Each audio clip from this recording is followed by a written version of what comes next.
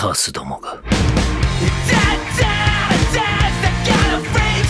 Hola, soy Bash y hola amigos, bienvenidos una vez más a nuestro canal. Y bueno, el día de hoy, como ya es costumbre en el canal, les traigo la review del capítulo número 91.2 de Shumatsu no Valkyrie. Y es que sí, al parecer este episodio es técnicamente la segunda parte del capítulo 91, es por eso que lo llamaremos de esta forma. De cualquier manera, en este capítulo continuaremos con el combate de Okita contra Susano, en el cual al final del combate parece ser que finalmente tenemos un ganador, aunque honestamente no lo creo, ya que pareciera ser que Okita perdió el combate, pero como todos sabemos que va a ganar y honestamente la batalla aún no ha terminado, directamente en el próximo episodio que sería el cierre del combate ahora sí, yo creo que veremos cómo Okita logra remontar todo esto. De cualquier manera debo reconocer que este capítulo me pareció impresionante. Y bueno, ahora sí ya con todo esto dicho, sin nada más por añadir, comencemos de una vez. Y bueno, comenzamos esta segunda parte del capítulo 91 con la perspectiva de Jack y su Valkyria Locke, los cuales se encuentran bastante sorprendidos por el combate que están viendo, ya que observamos como Locke muy preocupada menciona, eso estuvo demasiado cerca, ¿qué demonios es esa técnica? No hay ninguna apertura, no hay incluso una brecha. De esta manera Locke ahora se dirige a Jack preguntando, si fueras tú quien pelea, ¿podrías de alguna manera contrarrestar esta habilidad? A lo que vemos como Jack bastante calmado y pensativo bebiendo su té menciona, eso creo, si tomas distancia de Susano, él puede cargar energía para lanzar un ataque extremadamente poderoso capaz de destruir una ciudad. Por otro lado, si te acercas a él, es capaz de responder con un ataque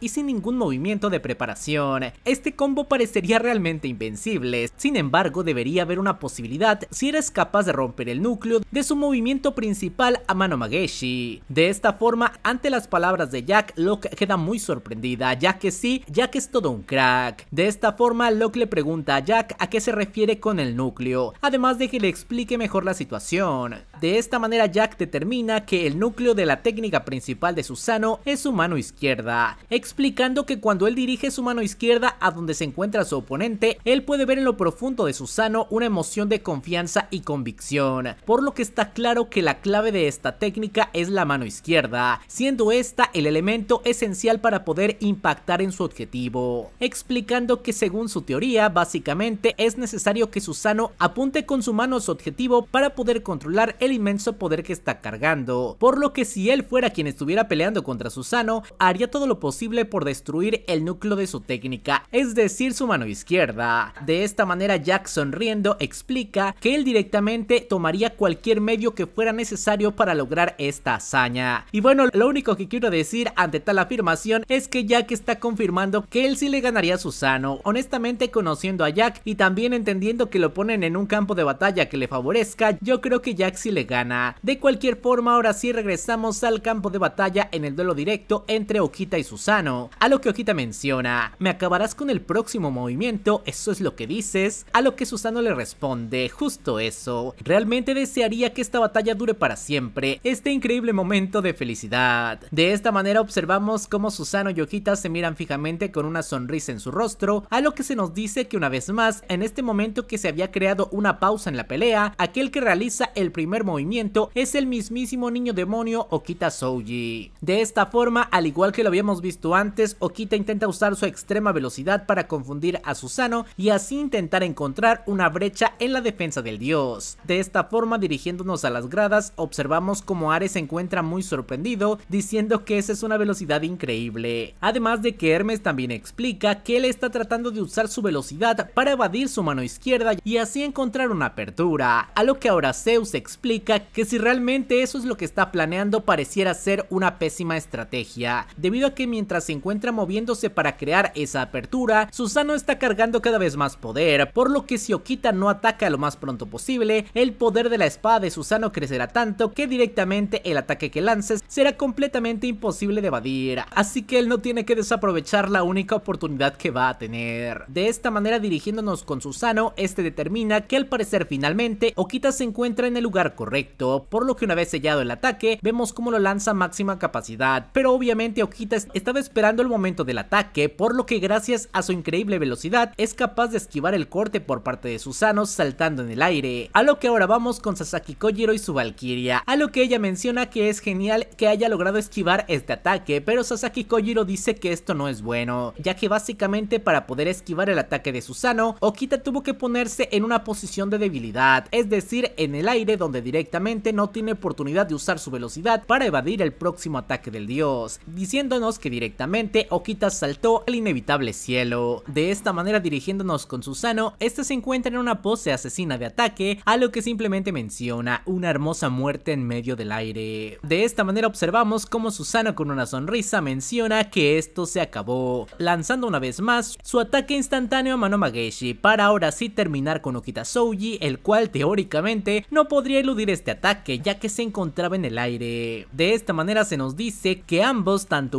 como dioses, creían que la batalla había terminado, sin embargo la espada del demonio solo podía sonreír, mientras vemos que en efecto parece ser que todo esto formaba parte del plan de Okita, ya que en ese momento observamos como en el mismo aire Okita comienza a realizar un movimiento con su espada, a lo que todos quedan completamente expectantes de qué demonios es lo que está planeando este tipo, revelándonos su impresionante estrategia, y es que al parecer Okita decidió lanzar su espada al pie de Susano, así es, un movimiento que un espadachín jamás se habría esperado, ya que normalmente es muy poco probable que un espadachín se deshaga de su espada, por lo que este movimiento sin duda alguna dejó muy sorprendidos a todos. De esta manera, gracias a golpear uno de los puntos de equilibrio de Susano, este al lanzar su ataque simplemente no puede impactar en Okita, a lo que Ares bastante aterrado se percata de que Susano ha fallado por completo y este mismo se encuentra algo preocupado por la situación, ya que ahora sí Okita cae al suelo recuperando rápidamente su espada, con una sonrisa ya que al parecer su plan ha salido a la perfección. De esta manera vemos algo completamente impresionante, y es que Okita termina el trabajo con el que había iniciado, desgarrando medio pie de Susano, y así es al parecer Okita tenía un plan similar a lo que Yaka había mencionado, es decir, para eliminar esta técnica tienes que desbalancear a tu rival, y en este caso a pesar de no acabar con el núcleo, sí acabó con uno de los puntos de estabilidad de la técnica, por lo que gracias a este corte se supone que Susano ya no podrá realizar su técnica principal. De esta manera todos están muy sorprendidos por lo que acaba de pasar, ya que Okita fue capaz de defenderse estando incluso en el cielo, y al parecer todo esto fue una trampa por parte de la espada del demonio. Ante esta situación vemos a los espectadores completamente sorprendidos y sin saber qué es lo que va a pasar a continuación, pero el único que sigue pensando en la batalla es el mismísimo Susano, el cual rápidamente intenta detenerse de su caída después del corte para lograr contraatacar a su adversario, ya que si Okita no pierde ni un solo momento para contraatacar, debido a que se nos menciona que en ese preciso momento Okita retó completamente a Susano, lo llevó a sus límites y lo puso al borde de la muerte, o al menos eso es lo que se suponía que tenía que pasar, ya que en ese momento observamos como Susano repite una vez más, una hermosa muerte en medio del aire, aferrándose ahora con su mano izquierda al suelo, mientras que levanta su pie izquierdo el cual había sido cortado. De esta manera observamos algo totalmente impresionante, y es que básicamente Susano ha cambiado su postura, tomando ahora como referencia su pie izquierdo que es el cortado, es decir, ahora este es el núcleo de su técnica. Básicamente Susano puede usar sus cuatro extremidades como lo desee, acoplándose a la que tenga mejor posición. De esta manera Susano simplemente repite, una hermosa muerte en el aire, eso es lo que dije, preparándose para atacar una vez más a Okita. De esta manera precisamente se nos explica que la técnica de los cuatro puntos cardinales de Susano funciona de esta manera, debido a que gracias a su extenso entrenamiento, este puede contrarrestar a su enemigo desde cualquier dirección, y como dije, todas sus extremidades son funcionales para realizar un ataque de extrema potencia, explicándonos que esa precisamente es la esencia del IAI, poder contrarrestar a tu enemigo sin importar desde qué ángulo pueda venir. De esta manera se nos explica que la razón por la que Susano le puso este nombre a la técnica es directamente porque vio esas ocho nubes en el cielo o algo así. De esta manera, ahora sí, regresando al combate, observamos como directamente Susano y Okita chocan espadas, pero por lógica la técnica del dios es mucho más poderosa, incluso ahora que no había obtenido oportunidad de cargar tanto poder. De cualquier forma, el dios demuestra su increíble poderío, lanzando un ataque capaz de destrozar a Okita sin tanto problema, ya que vemos un terrible escenario debido a que parece ser que Okita fue completamente rebanado de su lado izquierdo. De hecho, parece ser que perdió parte de la pierna y también su brazo izquierdo parece deshecho, lo único que le queda es su mano derecha sujetando su espada, y pareciera ser que este es el final del niño demonio debido a que sus ojos están en blanco. De esta manera observamos como Susano dice que desafortunado Okita, pero la victoria es mía. Así es, parece ser que finalmente Susano canta victoria, terminando de esta manera el episodio, pero como ya comenté al principio, apuesto lo que quieran a que Okita va a sacar su poder de niño demonio otra vez, o tal vez lleguemos a ver a su Valkyria actuar. Me llama la atención que precisamente no le quitaron el brazo con el que sostiene la espada, así que creo que esto es el guiño de que todavía falta algo más. Pero como lo comenté antes, yo pienso que el próximo capítulo ahora sí tendría que ser el final, o al menos eso espero. Aunque eso sí, lo extraño es que casi no vimos nada del pasado de Okita, pero supongo que lo que nos está diciendo los creadores es que vayamos a leer el spin-off de Okita para enterarnos de todo su pasado, si es que queremos saber de él. Pero bueno, de cualquier manera, ahora sí, de esta forma terminamos el video. Me encantaría que me dejen sus opiniones y teorías en los comentarios qué les ha parecido este combate. Parece ser que finalmente llegaremos a una conclusión, o al menos eso espero. De cualquier forma, antes de despedirme, quiero agradecer a todos los miembros del canal que siempre nos están apoyando. Y muchas gracias a los dioses Gonzalo Salazar, Gustavo, El Dusabe, Sebastián Betancourt y Beyonder Lauti. Y ahora sí, sin nada más por añadir, adiós.